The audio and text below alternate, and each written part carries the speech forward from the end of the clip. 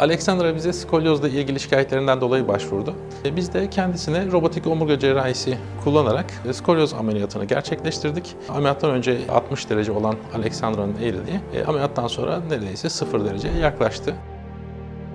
Bu ameliyat için Alexandra'nın yaşı normalde olması gerekenden biraz daha fazlaydı ama buna rağmen çok yüz güldürücü bir sonuç aldık.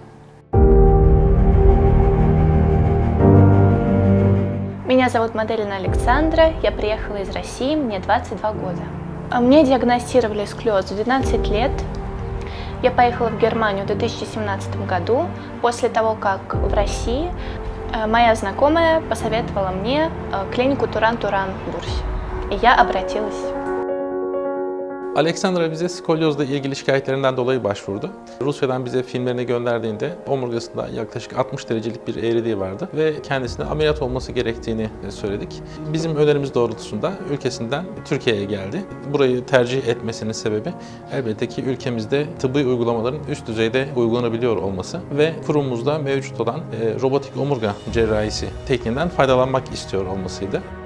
Biz de kendisine robotik omurga cerrahisi kullanarak e, skolyoz ameliyatını gerçekleştirdik. Ameliyattan önce 60 derece olan Alexandra'nın eğriliği e, ameliyattan sonra neredeyse 0 dereceye yaklaştı.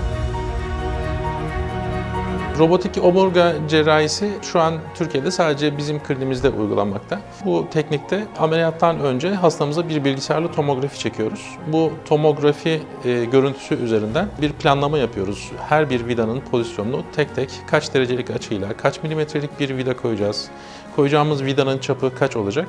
Bunların hepsini ameliyattan önce programlıyoruz ve bu programı e, ameliyat sırasında robota yüklüyoruz. Ameliyattan önceki planlamamıza göre her bir vida için robotun kolu pozisyon alıyor ve bu pozisyondayken üzerindeki çalışma kanülünün üzerinden vidaları gönderme imkanımız oluyor. Ameliyat sırasında da vidanın e, kemiğin neresinde olduğunu, pozisyonunu canlı olarak, e, eş zamanlı olarak görme imkanımız oluyor.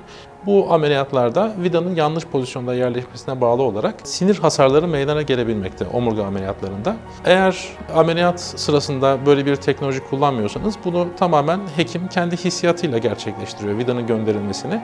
Vidanın farklı yerlere gönderilme ihtimali olabiliyor. Bu durumda da hastalarda bazı sinir hasarları, buna bağlı his ve kuvvet kayıpları ortaya çıkabiliyor. Bu teknoloji sayesinde bu tarz komplikasyonlar neredeyse sıfıra inmiş oluyor. Çünkü vidayı tamamen biz yerleştirmek istediğimiz pozisyonda konumlandırabiliyoruz.